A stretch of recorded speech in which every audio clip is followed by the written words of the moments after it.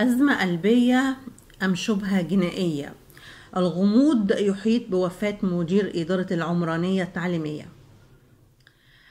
تجري نيابة جنوب الجيزة الكلية تحقيقات موسعة في العثور على جثة أحمد زكريا مدير إدارة العمرانية التعليمية داخل مكتبه لبيان وجود شبهة جنائية من عدمه.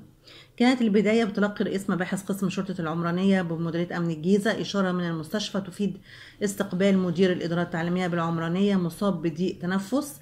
ولقى مصرعه خلال محاولة إسعافه وعلى الفور انتقلت الأجهزة الأمنية لمحل البلاغ وبالتقابل مع أسرة آه، المتوفي أفادوا بأنه يعاني من مشاكل وأمراض قلبية من حوالي شهر ونفوا وجود شبهة جنائية في الواقعة. وجرى التحفظ على الجثمان داخل ثلاجة المستشفى تحت تصرف النيابة العامة.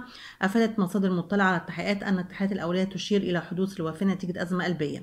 كما تسلمت النيابة التحريات اللي أجرتها الأجهزة الأمنية حول الواقعة واللي بتبين من خلالها آه، أن المتوفي كان بيعاني من مشاكل وأمراض قلبية من شهر. وأضافت المصادر أنه بعد تداول أنباء عن آه، مفارقة مدير الإدارة الحياة بسبب تناول حبة سامة تسببت في إصابته بآلام في المعدة ووفاته في الحال بينما أكد أبناء المتوفي وجود شبهة آه، جنائية في الواقع نظرا لأن والدهم ليس لديه أي ميول آه، عنيفة لإنهاء حياته. يعني هم أولاده بيقولوا إن مفيش شبهة جنائية ولا حاجة لأن هو ما عندوش ميول. لكن في كلام إن هو أخد حبة سامة.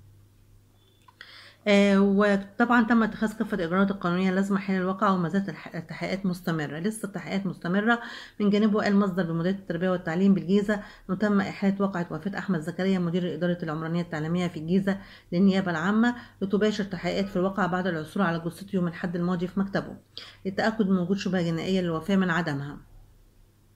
وأضاف المصدر أنه حتى الآن لم تنتهي تحقيقات النيابة مشيرا أنه يوجد العديد من الروايات حول وقعة الوفاة وتابع نحن في المديرية لا نعلم شيء وفي انتظار نتيجة التحقيقات. وأوضحت المصادر آه، آه، أن رجال المباحث يتواجدون في الإدارة التعليمية للتحقيق في الواقعة مؤكدين أن مكتب زكريا لا يوجد به أي كاميرات مراقبة.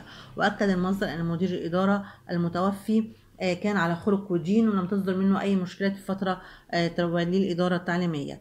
كانت أنباء ترددت عن سبب الوفاة آه، حيث تناول حبة الغلة السامة. ولكن لم يتم التأكد حول وجود شبهة جنائية من عدمها وخاصة أن الرجل كان معروف عنه أنه صاحب خلق عالي وعلى قدر كبير من الإيمان.